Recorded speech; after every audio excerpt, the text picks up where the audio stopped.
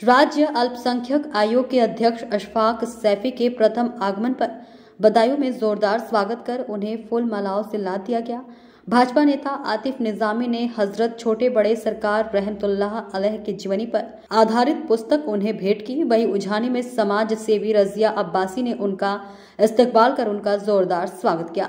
आतिफ निजामी ने वर्तमान में चल रहे कार्यों से अवगत कराते हुए मोदी व योगी सरकार द्वारा चलाई जा रही अल्पसंख्यकों के हितों के लिए लाभकारी योजनाओं की चर्चा की एवं अल्पसंख्यक समाज की समस्याओं को भी अध्यक्ष के सामने रखा।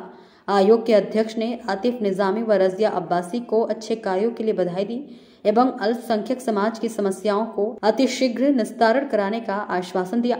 वही उझानी में निकाय चुनाव की भाजपा समर्थित प्रत्याशी रजिया अब्बासी ने भाजपा सरकार को मुस्लिमों के हितों की रक्षा करने वाली सरकार बताया। उन्होंने कहा कि मुस्लिमों का हित भाजपा सरकार में सुरक्षित है। इस मौके पर बले, इस मौके पर बरेली महानगर अध्यक्ष अनिस अंसारी, नसर अफजाल अंसारी, इमरान खान, रशीदा बेगम, रुखसाना, मुस्कान, नवाब आदि मौजूद रहे। हाँ और मोहसिन साहब और तमाम हमारे यहाँ जो बहनें बैठी हुई हैं, माता बैठी हुई हैं, सभी को मेरा सलाम वालेकुम। मैं आपके बीच में आज आया और आप लोगों से मेरी मुलाकात हुई। बहुत अच्छा लगा। अच्छा एक बात बताइए बात बता के कितने लोगों को प्रधानमंत्री आवास योजना का लाभ मिला है? यहाँ पर कोई ऐसा है जिनको प्रधानमंत्री आवास योजना मिलने का लाभ मिला है?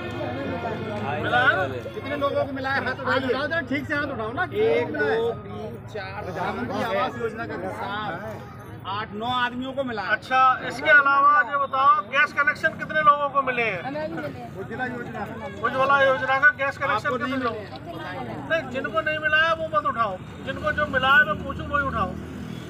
अच्छा ये बताओ मुफ़्त राशन जो योजना है उसका लाभ कितने लोगों को मिला है?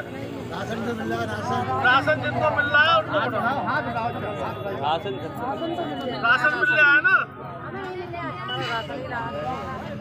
देखिए किसी को हो। सकता नहीं मिल रहा हो